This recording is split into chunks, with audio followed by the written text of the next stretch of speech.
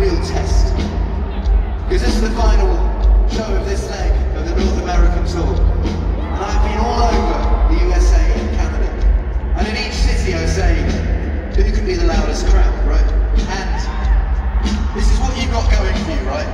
Is all those cities, I would rile them up by choosing their rival and go, you know, I beat New York.